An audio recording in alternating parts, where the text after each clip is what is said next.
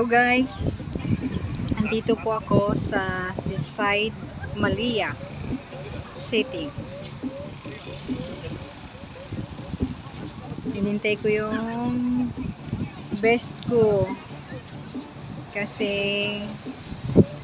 mayroon kami attend ng birthday ng kaibigan namin dito iyan sa Seaside, Malia City. On na po sila.